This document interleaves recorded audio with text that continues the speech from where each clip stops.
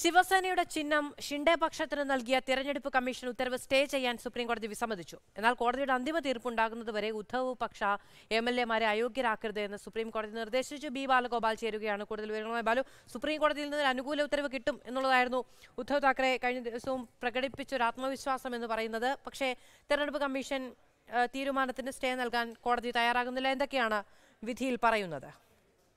മാധു ഈ തെര- തെരഞ്ഞെടുപ്പ് കമ്മീഷൻ നേരത്തെ ശിവസേനയുടെ ഔദ്യോഗിക ചിഹ്നമായിരുന്ന അമ്പും ബില്ലും ഈ ഏകനാഥ് ഷിൻഡെക്ക് ഏഹ്, നൽകിയിരുന്നു. ഏകനാഥ് ഷിൻഡെ പക്ഷത്തിന് നൽകിയിരുന്നു. ഇത് ചോദ്യം ചെയ്ത് ഉദ്ധവ് താക്കറെ നൽകിയ ഹർജിയാണ് ഇന്ന് chief justice D Y Chandrachud അധ്യക്ഷനായ ബെഞ്ച് പരിഗണിച്ചിരുന്നത്.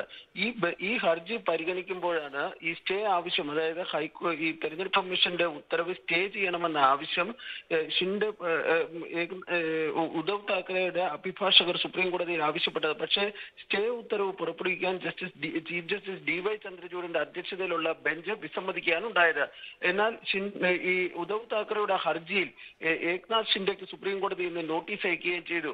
ഈ ഇക്കാര്യത്തിൽ അന്തിമ തീർപ്പുണ്ടാകുന്നത് വരെ ഉദ്ധവ് താക്കറെ പക്ഷ എം എൽ എമാർക്കെതിരെ അയോഗ്യത ഉൾപ്പെടെയുള്ള നടപടികളിലേക്ക് കടക്കരുതെന്ന ഒരു നിർദ്ദേശവും ഇന്ന് സുപ്രീം കോടതി നൽകുകയും ചെയ്തിട്ടുണ്ട്. പക്ഷേ ഏക്നാഥ് ഷിൻഡെ പക്ഷം ഈ ഉദ്ധവ് പക്ഷത്തിന്റെ കയ്യിലിരിക്കുന്ന ഓഫീസുകൾ ബാങ്ക് അക്കൗണ്ടുകൾ എന്നിവ കൈക്കലാക്കുന്നത് തടയണമെന്ന ഒരു ആവശ്യം ഇന്ന് ഉദ്ധവ് താക്കറെ പക്ഷം കോടതിയിൽ ഉന്നയിച്ചു. പക്ഷെ അതിലും ഇടപെടാൻ സുപ്രീം കോടതി തയ്യാറായില്ല. ഏതായാലും ഈ ഹർജി പരിഗണിക്കുന്നത് രണ്ടാഴ്ചത്തേക്ക് സുപ്രീം കോടതി മാറ്റിയിരിക്കുകയാണ്. ശരി. ബി ബാലഗോപാൽ വിവരങ്ങൾ നൽകിയത്.